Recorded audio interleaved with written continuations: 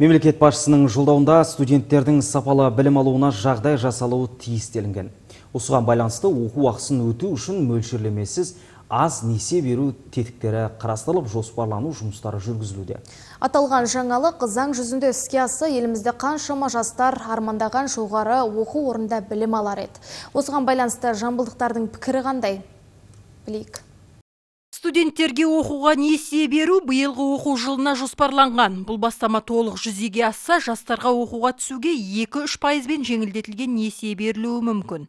Жоғары оқу орнының оқытушысы ретінде жаңалықтардан көріп жатырмыз. Студенттерге несие беріледі деп жатыр. Біз ол нәрсемен толықтай келісеміз. Өйткені студенттер үшін үлкен мүмкіндіктердің бірі болып саналады. Өйткені әрбір студент, әрбір студенттің ата-анасы мысалға оқуын ақшасын төлеп бере алмайды. Және де бұл көп балл жинаған студенттерге де өте үлкен бір мүмкіндіктердің бірі. Өйткені өзінің оқуын ақшасын төлей алады. Ары қарай жаңағы бөліп төлеу деп жатыр иә. Яғни болашақта өзінің жаңағы маман иесі болуына да жаңағыдай өзінің қалаған жұмыс орнын жасауына да көптеген мүмкіндіктер береді деп ойлаймын. Несиелеу қолданыстағы заңнамаға қажетті нормалар қабылданғаннан кейін іске қосылады. Оған білім беру грантының иегерлері болмаған талапкерлер үміткер бола алады. Осылайша олар мемлекет кепілдігімен несие алып оқуына ақы төлейді.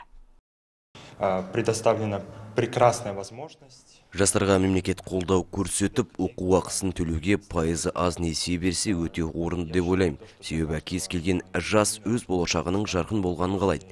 Кейбір білімгерлер оқу ақысын төлей алмай қиналады. Ал мына жаңалық тезірек жүзеге асса, бұл проблема шешіледі деп ойлаймын. Мамандардың сөзінше студенттер қарызды оқуды тәмәндағаннан кейін 6 ай уақыт өткен соң өтей бастайды. Сол уақыт аралығында жас мамандар жұмысқа орналасып үлгеру керек. Гүлзат Сейдуллағызы Ермек Кеншімбек, Айқын ақпарат.